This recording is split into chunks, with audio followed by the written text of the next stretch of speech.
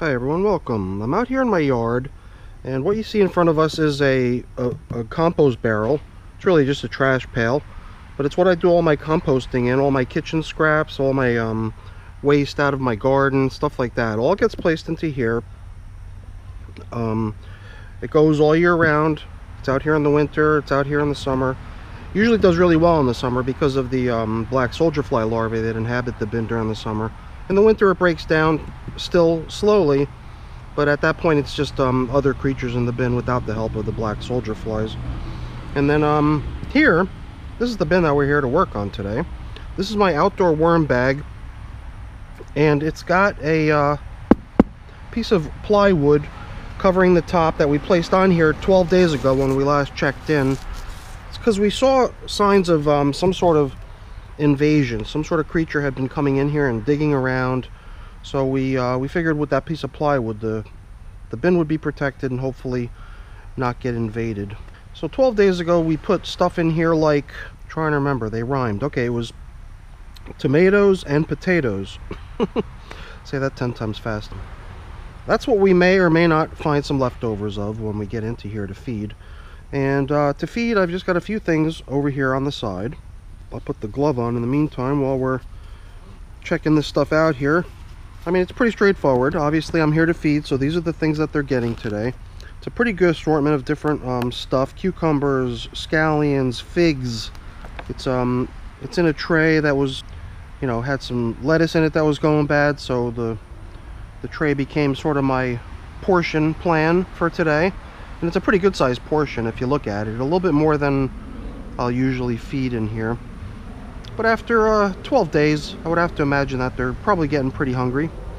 And then all I've gotten here is some pulverized eggshell, which is what I use as the grit in my worm bins sometimes. So let's uh let's get to feeding these little guys. Oh, the thing's a little bit more damp than I thought it would be. But then again, it makes sense because it was underneath a piece of plywood.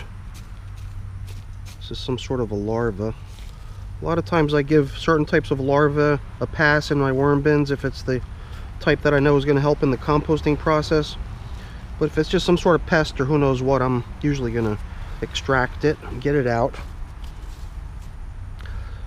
And what we see here on top is a nice assortment of fresh leaves that we scattered on here last time we were in here. Pretty good thick layer of it for that matter tomatoes had a little bit of juice in them. There were just some stuff that were um, out of my garden. Tomatoes from my garden that were probably never going to ripen, so I figured I'd make um, worm food out of them. And a whole bunch of slices of potato, which really have not gone very far, if I do say so. Actually, it's weird because there, there does seem to be a chunk of it missing over here, and I could see a worm even hanging out on this piece. So it does seem like they're working their way into it, but maybe it needs time for um, certain other types of breakdown to occur or at least get started so that the worms can come up and suck up that softer portion of it once it does soften up. So yeah some of these pieces actually look like they're pretty well underway. And after 12 days I didn't really know what to expect as far as these chunks of potato are concerned. They are raw. They never got cooked so they don't have the benefit of having been cooked it's just so interesting how the it looks like it was nibbled away at somehow. No? Is it my imagination? Would worms do this? I guess they would, right? If there was only one section of it somewhere that was starting into the deterioration process. So they would only be able to eat the stuff that's already partially rotting or decomposing. So the stuff seems to be doing quite nicely. And there's a whole, you know, whole lot of it left. I mean, you would have to say that they must have consumed about 5 or 10% of it tops. Almost makes you wonder if it's necessary to put food in, especially in the amounts that I was planning on putting it in here. But you know what? The stuff that I'm giving them now, all frozen, lettuce, cucumber, all liquid, all moisture, all stuff that's going to um, become food for them instantly basically they'll be able to come along and you know slurp up the juices of the cucumbers and eat up the fleshy parts of it as it thaws out and Same with the lettuce. Everything's going to become like a really fast food for them once they uh, once they get that stuff. You know what? I really want to probe around in here a little bit before we get down to plopping in the food. So let's just keep sort of opening this hole a little bit more. I keep looking back at the um, statistics on my various bins and this bin I believe has had seven feedings up until this time. So this would be like feeding number eight. I guess as we start to go down deeper we start to get into stuff that's already just piles of rich finished castings.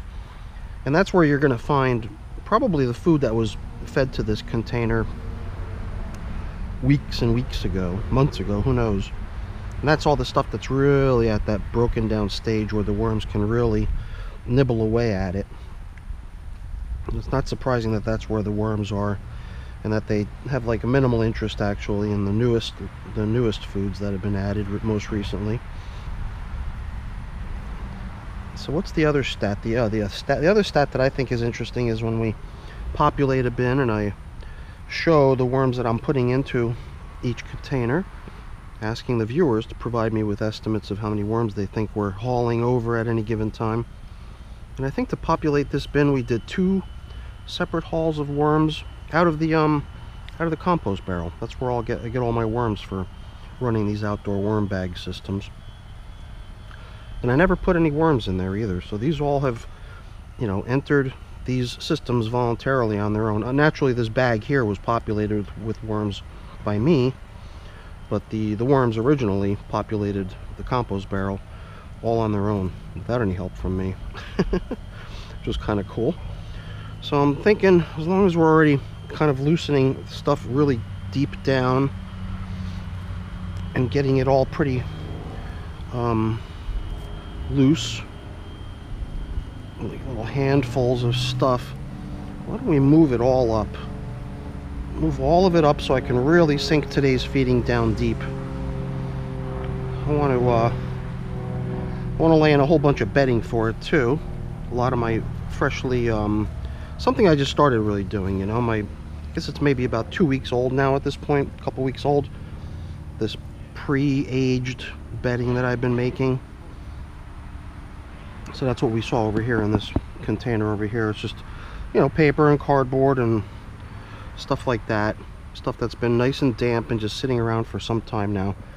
Sort of breaking in and just waiting to be used as bedding instead of it just being some fresh newly uh, shredded paper or whatever the case may be hopefully by having been sitting around and soaking for all that time it's going to make this stuff nice and soft and and um, really easy for the worms to take advantage of so we've definitely created a nice size hole in here I'm just wondering if it's big enough for all this food we're giving them I don't know um, let me begin here by grabbing my little box of pre-made bedding material. So you'll see it's just uh, just shredded paper and cardboard and leaves. And there was also some um, vermicompost placed in here too to sort of inoculate the material too a bit. So this bin definitely has good amounts of bedding in it already and everywhere we look we could see pretty good amounts of bedding but as I like to say sometimes, never pass up an opportunity to add even more bedding if you can. Especially stuff like this. I think this stuff is going to work so much better than um, the stuff I've been using in the past, which has been pretty much, um, you know, free of any sort of bacteria or microbes or anything. Always just sort of fresh bedding, basically. that's pretty cool. There's uh, other worm channels where you see the food come out like this out of a plastic tray just in a big chunk and I thought to myself man that would be fun to do that way so here's my shot at it so like I said this was the the really nasty lettuce at the bottom of the the tray of the box the plastic box that we're in and then I unloaded um, some of these cucumbers that you can see were starting to get moldy so there's a bunch of those and there was another larger size cucumber that was also getting moldy. I mean, in all honesty, this side got moldy and this side was probably still okay, but I figured let's not take any chances. Let's just turn it into worm food. I'm sure they'll appreciate it. So I'm sure that this stuff is not gonna last. I mean, maybe we'll see some leftovers of the onions because I think onions kind of resist the breakdown process a little bit. Um, the lettuce, the cukes, stuff's all gonna go in no time. And all that moisture is gonna help things down here too, all helping all the microscopic life forms really kick into high gear because all that potato was um, pretty dry stuff. If not for the tomatoes that I included with the potatoes, there been there would have been virtually no moisture. So good thing for the potato, the tomatoes. And I think I did spot a, one or two of them here or there as we were. Here's one. I don't even know if I managed to squirt that one apart, but I did squash them all last time like that so that they'd all be kind of infiltrated or, you know, broken open so they can be infiltrated by the worms. And what I have here is eggshell, pulverized eggshell. I'm trying not to um, inhale any of this dust because um, it's very, very coarse material and not to be breathed in. So just be careful if you're handling this stuff, especially um, indoors. I'm outdoors, so I've got a good breeze blowing, kind of clearing the stuff away from me, but um, it could have just as easily pushed the stuff right into my face, which would not have been a very good thing.